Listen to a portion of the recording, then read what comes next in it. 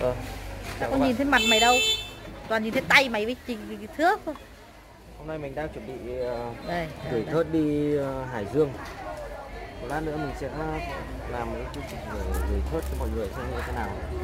Thì hiện tại cái thớt này đang là cái thớt 3 năm. Đây, Kéo đi cái thớt 3 năm này đây. Cái kích thước của nó, cái này là 3 năm. Độ dày. Đây, Cô quay vào cái này. Đây. Cái này dày 5 dày đúng 5 cái này cái này kích thước chuẩn thế. 35 dày 5 và đây là cái quai vuông. Đây là cái đường vân của nó. Mọi người có thể nhìn thấy rõ. Và khi mà chúng ta chọn một cái thớt thì một cái thớt đẹp bao giờ cũng phải chọn để ý đến hai mặt.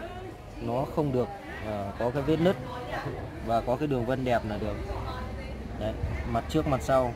Mình phải kiểm tra cả cả cái viền cả cái viền này nữa. Cả ta nhìn thấy toàn thớt rồi nhìn thấy mặt mày đâu. Mặt mày cũng được hết đây Cao lên mới nhìn thấy mặt mày. Thì bây giờ mình sẽ đóng cái này để mình gửi cho một à, anh ở Hải Dương. Anh ấy đặt Hải Dương thì chắc khoảng tầm 3 3 4 ngày là sẽ tới. Một cái thớt như này mình sẽ bỏ bỏ vào trong một cái túi bóng này và lát nữa sẽ lấy bìa ở đây để đóng vào mà mình gửi.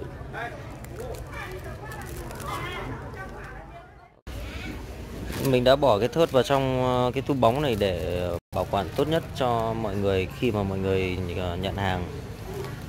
Và có một cái lưu ý quan trọng, cực kỳ quan trọng là khi mọi người nhận hàng thì mọi người hãy bỏ cái thớt này ra và chúng ta pha nước muối, đừng đậm quá cũng đừng nhạt quá.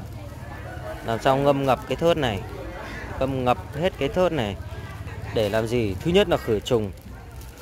Thứ hai là nó cho cái thớt này nó uống nước đi uống cái nước muối đi để nó ít để cái độ lứt răm của nó giảm đi một cách đáng kể gần như là không và trong cái quá trình sử dụng thì chúng ta thường xuyên chúng ta rửa thì nó cũng được uống nước tí riêng tính chất của của những cái dạng thớt như thớt nghiến thớt uh, lim gỗ lim hay là không phải thớt lim mà là gỗ lim hay là một số các cái dòng thớt chắc khác thì khi mà nó quá khô ấy, thì là nó sẽ bị lứt răm.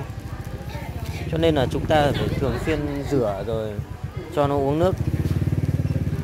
Ờ, thực ra thì cái quá trình sử dụng chúng ta sử dụng thường xuyên hàng ngày thì khi mà chặt thì nó sẽ bị bẩn và chúng ta rửa đi là nó đã được chạm vào nước. Nếu mà chúng ta sử dụng trong cái quá trình mà lâu lâu không sử dụng thì chúng ta bỏ vào trong trong cái túi bóng như thế này thì nó sẽ được bảo quản rất là lâu. Ok. Để được đóng.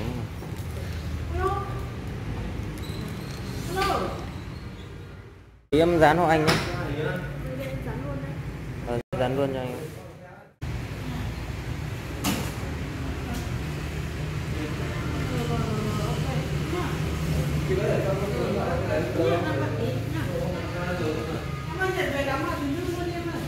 Em nhé Bây giờ cũng là 6 giờ 5 rồi.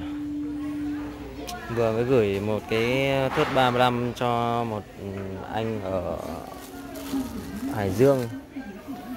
Vừa mới gửi xong thì có anh ở Bắc Ninh anh ấy gọi đặt một cái 35, một cái 30 Thì bây giờ mình lại phải ra mình lấy để đi gửi luôn trong tối nay để cho kịp xe. Xe để ờ, chuyển để khách hàng nhận được sớm nhất. Bây giờ mình sẽ phải ờ, chọn ra một cái 35 và một cái 30 Ok.